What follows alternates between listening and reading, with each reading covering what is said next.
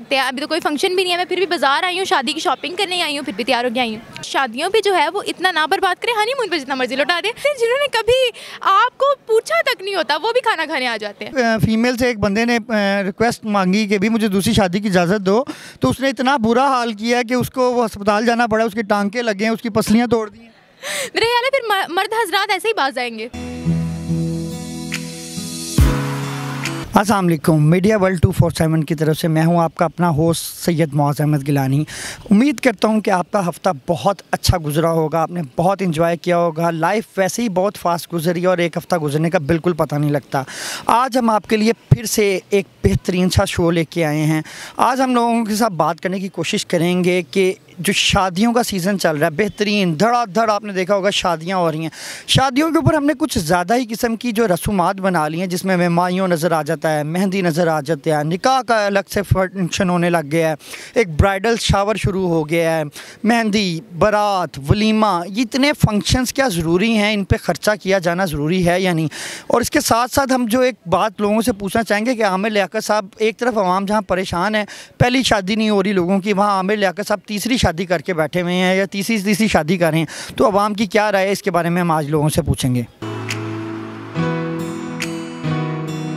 असल क्या नाम है मैम आपका? अस्सलाम, मेरा नाम निमरा।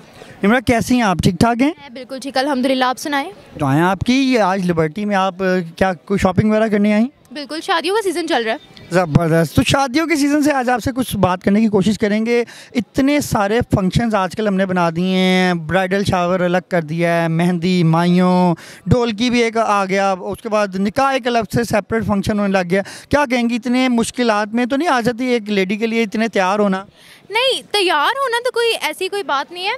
हम लोग तो कोई फ़ंक्शन ना भी हो तो आपको पता है पूरा साल ही हम लोग तैयार रहते हैं। जैसे कि आप देख सकते हैं अभी तो कोई फ़ंक्शन भी नहीं है। मैं फिर भी बाज़ार आई हूँ शादी की शॉपिंग करने आई हूँ फिर भी तैयार हो गया आई हूँ। ज़बरदस्त तो आपको चाहिए लगता है कि इतने सारे फ़ंक्शन होने चाहिए? होने तो नहीं चाहिए क्योंकि अगर हम मजहबी एतबार से बात करें तो मज़हब ने तो नहीं कहा ना कि आप इतने ज़्यादा करें। हाँ आप शादियों पे जो है वो इतना ना बर्बाद करें हनी मून पे जितना मर्ज़ी लौटा दें। यानी आप तो वो लोग भी आ जाते हैं जिन्होंने कभी आपको पूछा तक नहीं होता वो भी खाना खाने आ जाते हैं। कौन है ये लोग? कहाँ से आते हैं ये?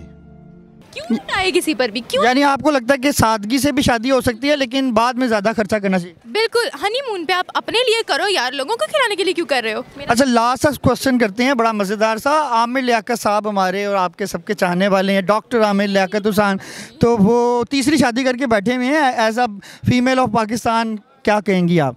I think it's ethic ethics के ख़िलाफ़ है ये बात, ठीक है? अगर आपने, अगर उनकी सेकेंड वाइफ की ट्वीट भी पढ़ी हो तो उन्होंने कहा था कि आमिर लियाकत साहब जो हैं, बड़े सते सवित्रे बन रहे थे, अपनी उन्होंने पोस्ट लगाई थी कि मैंने अपनी बीवी को तलाक नहीं दी, वो भी मेरे साथ है। जबकि अगर उसकी हम बीवी की बात करें तो उसने अभी रिसेंटली पोस्ट की थी, जो कि मैंने पढ़ी हुई थी। उन्होंने कहा था कि अपनी नई बीवी के सामने उन्होंने मुझे डाइवोर्स दी है, ठीक है? जो कि एथिक्स के ख़िलाफ़ है, ठीक है? अगर आपने तीसरी शादी करनी है, आप करो।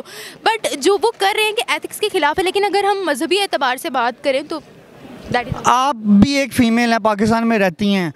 कल को आपके हस्बैंड तीसरी दूस- आई नॉट अलाउ क्या करेंगे? गोली मार देंगे?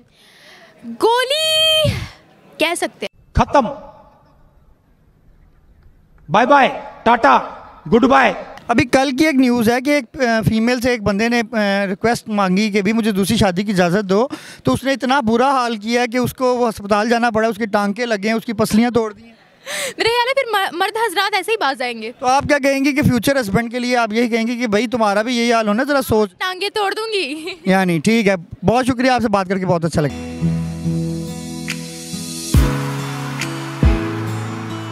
वालेकुम हमारे साथ एक बड़ी मोहतरम अम्मा जी मौजूद हैं हम उनसे बात करने की कोशिश करते हैं। वालेकुम क्या नाम है आपका? हाँ जी मकबूल बेगम। आंटी कैसी हैं आप? ठीक ठाक? बेटा।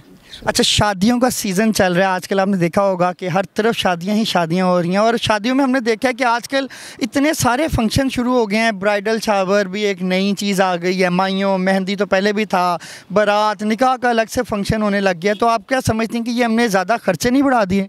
हाँ बेटा देखो बिस्मिल्लाह रहमान रहीम बेटा, ये तो जब हम अपने अल्लाह और अल्लाह के रसूल के ऊपर चलें तो फिर तो बेटा, ना किसी पे कर्ज़े चढ़ें, ना किसी की बेटियाँ बैठी रहें, ना किसी के बेटे बैठे रहें। बच्चियाँ भी सलीकेमंद अक्लमंद हों तो घर चलते हैं। बाकी ये शादियों के जो हालों के ख़र्चे हैं, शादियों के ये हैं, ये बेटा किसी हदीस में, किसी चीज़ में नहीं लिखा। लोग तंग आ गए हैं, घर नहीं बनाते, एक एक सूट, पता नहीं लाखों के रुपयों के सूट बन जाते हैं। मगर शादी करना कोई जुर्म नहीं है। बहरहाल, आदमी को सुकून चाहिए, चाहे एक बीवी करे, चाहे बेटा दो बीवियाँ करे, वो ऐसी कोई बात नहीं है। अल्लाह ताला का भी हुक्म है। मगर वो जो बीवियाँ हमारे हजूर पाक ने की थी, वो तो बीवियाँ थी। मगर आजकल जो जो बीवियाँ हैं ना, सही पूछो, वो तो नोटों की हैं। ठीक है मेरा बेटा?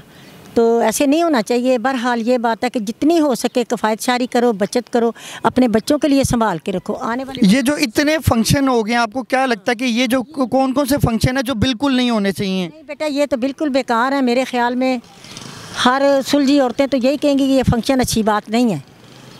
आपको लगता है कि सादगी से निकाह होना चाहिए? बिल्कुल सादगी से निकाह होना चाहिए और सादगी से सारे काम लिबास भी सादे हों तो फिर ये हमारी उम्मत चलेगी नहीं तो बेड़ा गर्क ही होता जाएगा। अब एक तरफ़ देखिए आंटी एक तरफ़ तो जवान बच्चे बच्चियों की शादियाँ नहीं हो रही। दूसरी तरफ़ हमारे ऐसे फनकार हैं पॉलिटिशियन हैं। आमर लियाकत साहब ने तीसरी शादी कर ली। अब क्या कहेंगी उनके बारे में कि वाम को कुछ सम, उनको देख के करना चाहिए। ये देखें बात सुने? अब हुसन की मार मार्केट हो गई है।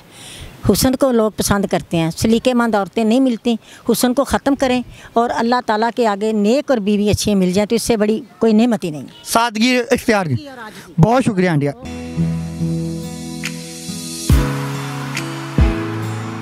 असलम सर क्या नाम है आपका? वालेकुम सलाम बाबा खान नाम है। सर कैसे हैं आप? ठीक ठाक हैं? अल्लाह का शुक्र अल्लाह का करम है। शादियों के सीज़न चल रहे हैं सर माशाल्लाह देखा होगा। आजकल इतने सारे फ़ंक्शंस आ गए हैं मेहंदी माइयों ब्राइडल शावर और पता नहीं क्या क्या कुछ। ये आपको लगता है ये ठीक है?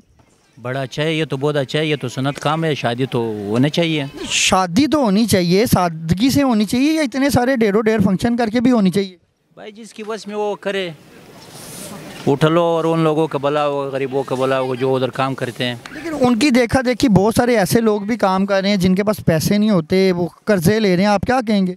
चाहे वो लोग शादी आराम से करे फ़ंक्शन बना के करें किसी को कुछ देगा नहीं तो ये अच्छा जहर है निकालने का।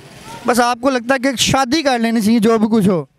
शादी कर देनी चाहिए। आमिर लिया के साहब ने तीसरी शादी कर दी इधर लाहौर में लोगों की पहले नहीं हो रही आप क्या कहेंगे? उसका नसीब इसी तरह होगा अच्छा होगा अच्छा किया शादी किया। अच्छा उसे मुबारकबाद देना चाहेंगे? हाँ उसको मुबारक हो। हाँ। चलें बहुत शुक्रिया आपका थैंक यू